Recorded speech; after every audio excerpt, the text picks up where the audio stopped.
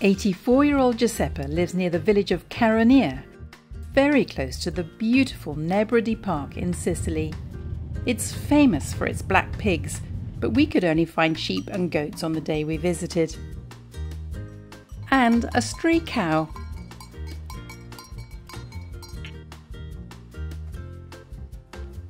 Cardoons look like a giant prickly celery and taste like globe artichokes. The smaller wild version is a thistle, and this is what Giuseppa is foraging for today. The spikes and stringy outer bits need to be peeled off before boiling the stalks.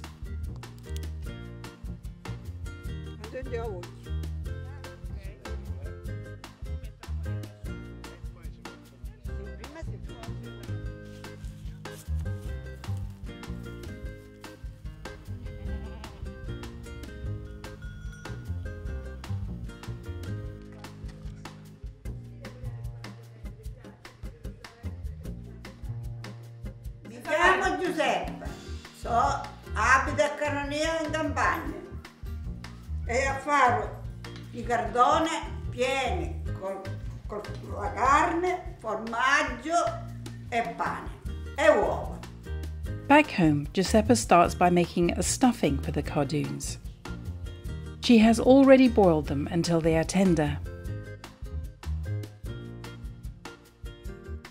Her herbs are parsley and garlic.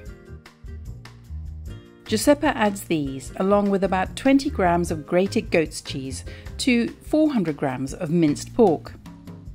She also adds some breadcrumbs.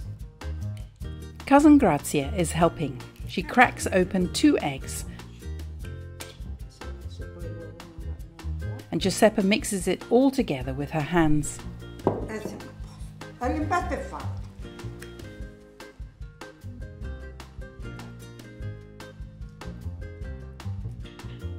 While Giuseppa stuffs each cardoon head with the meat mixture, Grazia ties them up tightly with string so the filling doesn't escape while cooking. You could do this recipe with celery, though the flavour is not the same. Questo, questo è Eh, tipo un carciofo, selvatico. A tempo eh, le raccogliamo e facciamo eh, Ecco. i, cac- i cocciolini. Giuseppa sautés the cardoon parcels in some of her family's olive oil.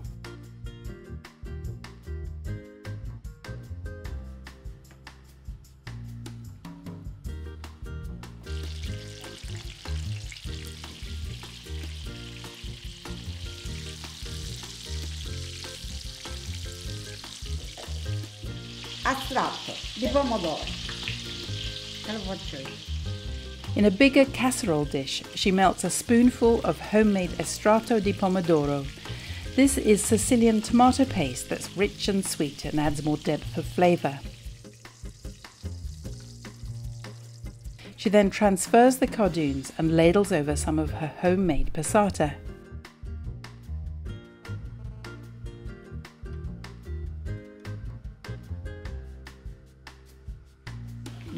Raccogli i pomodori dalla pianta, le metti al sole due giorni quando maturano, poi li lavo, le lascio riposare e poi li faccio così, spezzettati, con il basilico.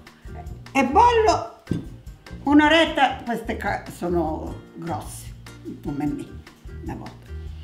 Quando mi serve la passo a sitaccio e viene così. She sprinkles in a little bit of cinnamon and some peperoncino. The vegetables now have to gently braise, covered for around four hours, which is plenty of time to make the maccaruna.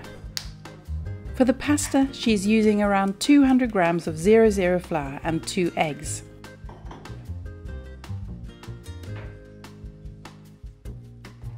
Me la Once the dough has formed, she transfers it to her board for easy kneading.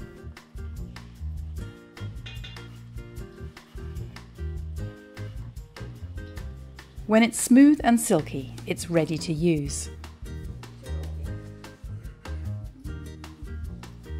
To shape the maccaruna pasta, the ladies use a long, thin stick called a busa. It is in fact a flower stalk from a grass which grows wild and looks a little bit like a smaller version of pampas grass. The ladies forage for them in summer when they can find them close to streams. She pinches a little bit of dough around the stick and then rolls it out using flat palms. Giuseppa dabs the busa with olive oil to stop the pasta sticking to it.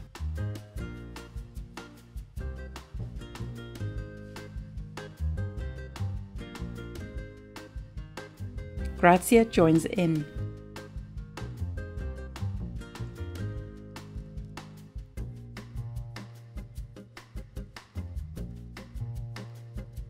Come va Giuseppa? Eh, come va? Va come va, va. Non siamo al ristorante. Ha fame? Ha fame, sì. Una pizza che la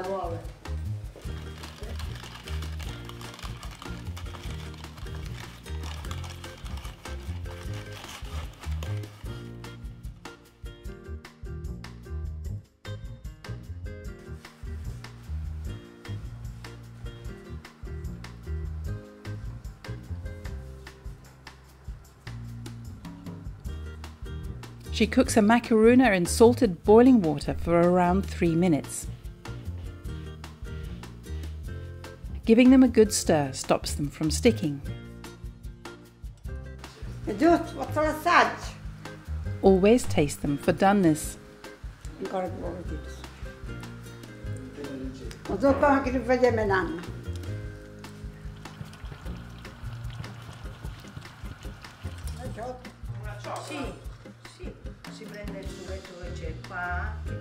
The pasta is now drained of water, and the ladies spoon over the delicious tomato sauce from the cardoons.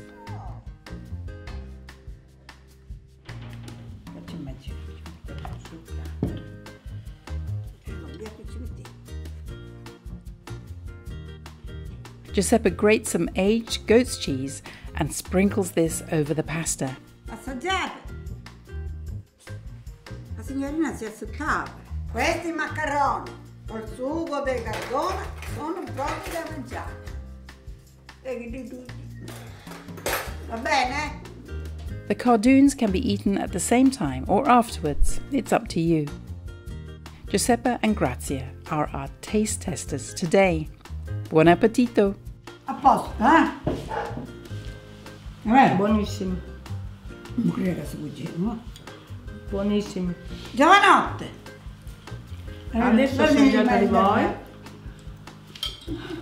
Click subscribe for regular helpings of Pasta Grannies. And come back next week when we're in Sardinia with 86 year old Maria, who makes Malloreddus pasta with a tomato sauce.